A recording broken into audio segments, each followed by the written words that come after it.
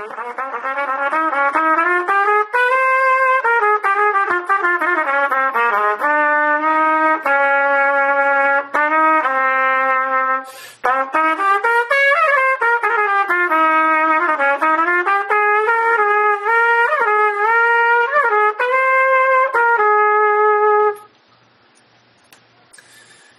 the B flat major scale.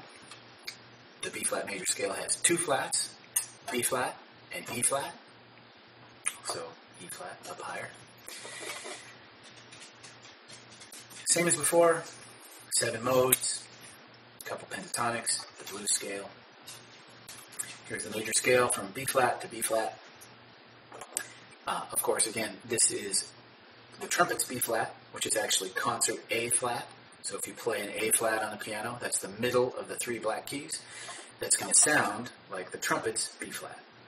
Okay, so here we go from B flat to B flat. I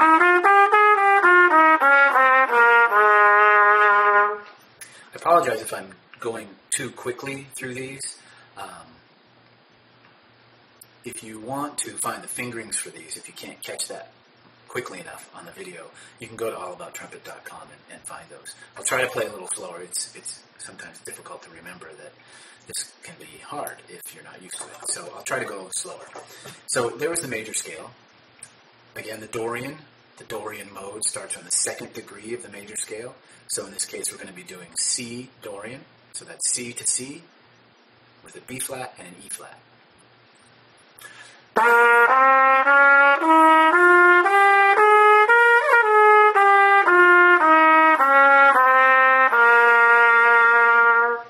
Okay, the Dorian, that's associated with the two chord.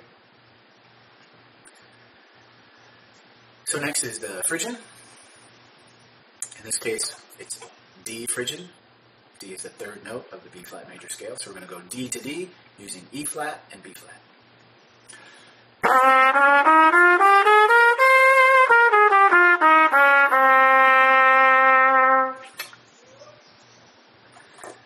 Okay, next up is the Lydian. In this case, E flat Lydian, going from E flat to E flat, using a B flat and an E flat.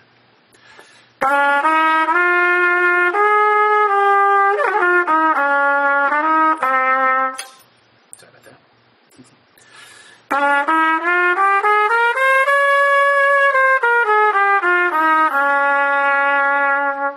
Sometimes I just can't help myself from fiddling around. Uh, anyway, that was the Lydian. So now uh, the Mixolydian, very important mode because it is the five associated with the five chord in say a two five one progression.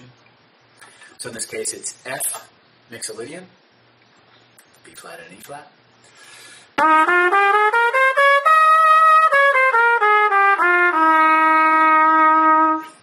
Okay. The sixth degree of the scale is, again, the natural minor scale, uh, also known as the Aeolian mode. In this case, it's G Aeolian or G natural minor.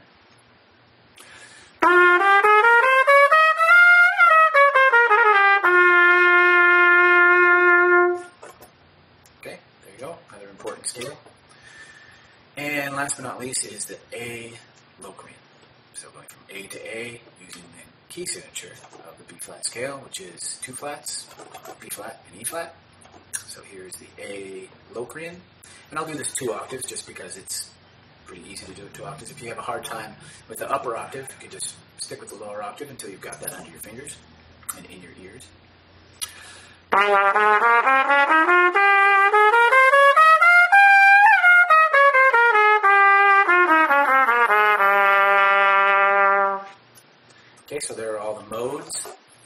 B flat.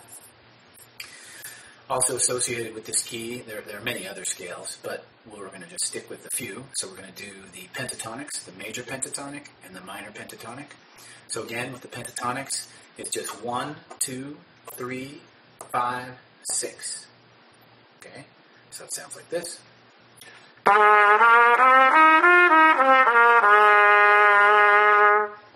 Okay, there's the major pentatonic. The great news, as before, with the minor pentatonic, it's the exact same notes, you're just starting in a different place. the minor, in this case, starts on the sixth degree, just like the natural minor scale did. So the G minor pentatonic, same exact notes, different order. So here they are.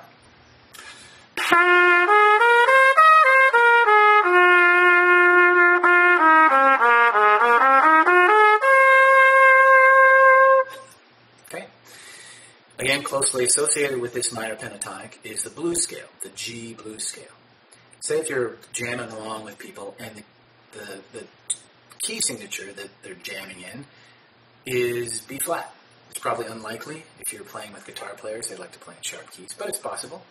Uh, if you're playing in B flat, which is concert A flat, the G blues scale will work as well as the B flat major scale. So you're, you're just going to need to use your ears and try those to see which one fits. Um, it's good to know which scales are associated with which, so that if you are in an improvisatory setting, you can think, okay, well this sounds like the B flat scale. Maybe I can try the G minor scale. That might might work. Might work better. So here's the G blues scale.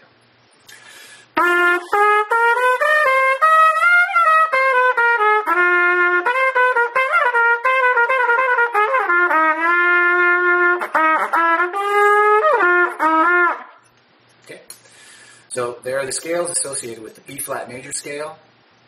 As with all of the other scales, vary the articulations, vary the tempo, vary the rhythms that you use, and of course, just improvise with the scale. Just use the scale, make up melodies, rhythms, whatever. That's probably the most fun way to practice them. Of course, you have to get them under your fingers in these other ways. If you practice a lot of these patterns, you'll find that as you improvise, those patterns will just naturally come out. So practice the patterns, practice just free improvising on the scale. Have fun. Good luck with your practice.